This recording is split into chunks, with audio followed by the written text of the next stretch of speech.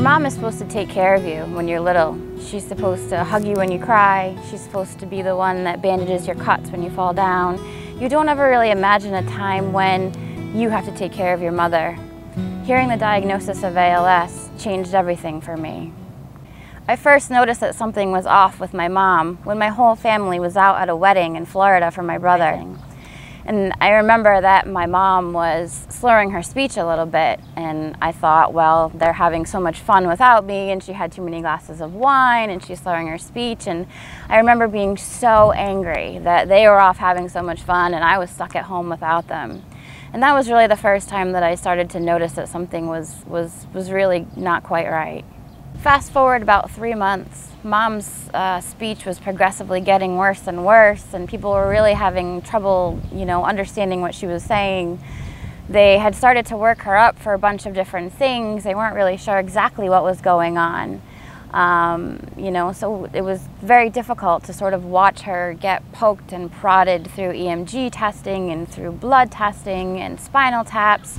Um, you know, the difficulty with trying to get a diagnosis of something like ALS is there's no real test for it. So you basically have to rule out everything else before you can actually come up with a final diagnosis. So at the time, it was, it was a very difficult thing to watch her go through that, that very rigorous battery of testing. It took about a few months for all the tests to, to come in, and I remember it was an April day, it was very cloudy and dreary out, and I took my mom to the neurologist's office, and we were sitting there, of course, in that, you know, stark beige type room waiting for the doctor to come in.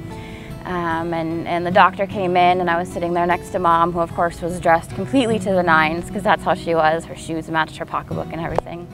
Um, and so we sat there and the doctor came in and um, basically looked at us and said, well, we have nothing else to tell you except that you've got Lou Gehrig's disease.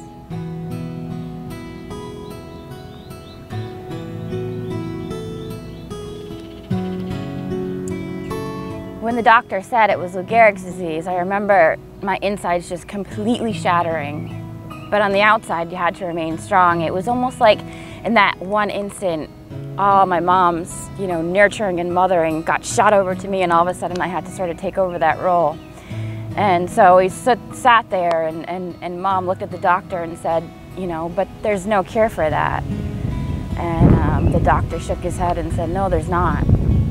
And so we picked up our stuff and we walked out of the doctor's office and we went to the elevator and pushed the button and, you know, not knowing what else to do, we said, well, let's go to lunch. You know, what, what else do you do? And you know, you, you hear your mom get a diagnosis of, of a disease that you know is, is, is fatal and has a life expectancy of about two to five years. You go to lunch. Within about six months, uh, mom had completely lost the ability to swallow, so she had a feeding tube put in, and, and once she had the feeding tube put in, she did pretty well for a little bit.